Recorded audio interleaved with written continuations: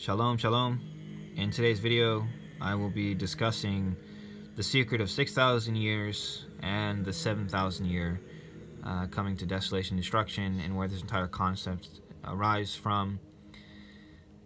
And to find the relevant passage, we're going to go into book 11 and a section called the Concealed Book, Safra Detsnuta. And we're going to be analyzing verse 8 and it says, The 6,000 years that the world exists derive and expand from the first six words, which are created Elohim, the heaven and the earth. Now, what does this mean? This is referring to Genesis 1 1, in which we have the word Bereshit, Berah, Elohim, Et Hashemayim, Wa Et Ha'aretz. Now, what's important to understand is that there are exactly six alephs here. One in Bereshit, one in Berah, one in Elohim, one in Et, one in Wa'et, and one Ha'aretz.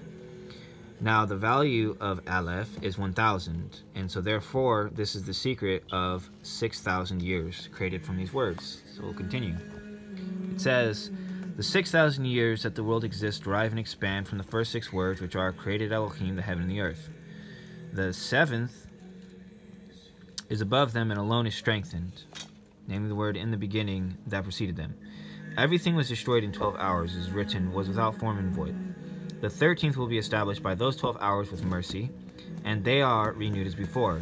These six will arise again because it is written created, and afterwards it is written was, which implies that now it is not anymore. This is because it certainly was during the six thousand years, and in the end, during the seventh millennium, is without form and void and darkness, because it was destroyed. This is the meaning of, and Hashem alone will be exalted that day, Yeshayahu 2.11, namely during the seventh millennium. Now, why does it say that during the seventh millennium it is without form and void?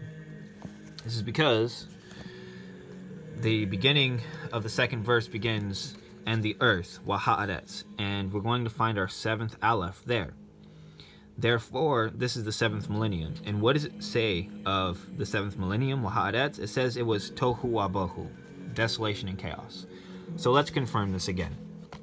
We have Bereshit, aleph there, Berah Aleph there, that's our second Aleph. Elohim, that's our third Aleph. Et, that's our fourth Aleph. Hashemayim, Wa'et, that's our fifth Aleph. Ha'aretz, that's our sixth Aleph.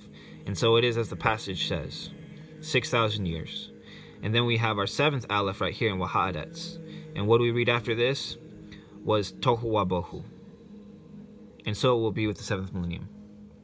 With that being said, we have established the origin of the 6,000 years and the 7,000 year being Tohu Wabohu contemplate all of these things and never reduce to wheat. Shalom Selah.